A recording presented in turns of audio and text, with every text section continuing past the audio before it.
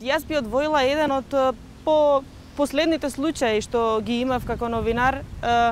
Имаше едно тројно убиство во Дебар, девојче, односно ги уби своите родители и малолетната сестра и сите избрзавме со некои верзии или теории кои би биле мотивите, бидејќи сварно се работеше за едно убиство кое што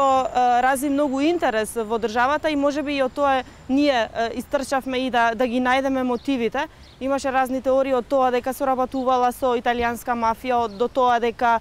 сакала да придобие од осигурувањето кое што би го добила во форма на, на пари откако би починале родителите и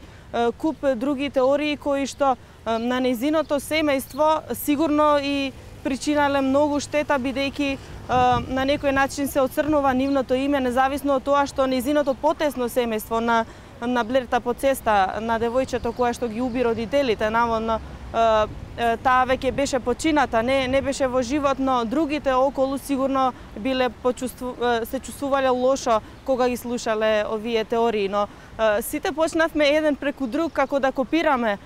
мотиви, а до ден денес не се откри вистинскиот мотив, дури и после истрагата на обвинителството и, и по пресудата. Се уште нема и тоа ми даде до до знаење дека ако обвинителството не успеало мотивите да ги открие како јас би успеала да ги откријам мотивите кои што се патем субјективни и тие треба да ги каже само Блерта по цеста, односно девојчето кое што се гонеше за тоа за за тоа убиство. Но јас би би одвоила еден дел на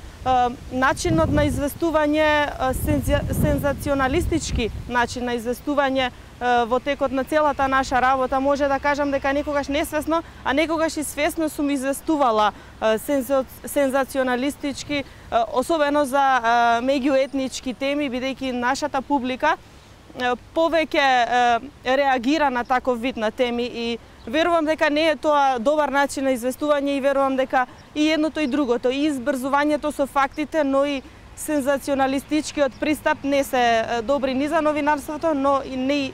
ниту за правичното известување кон граѓаните на државата.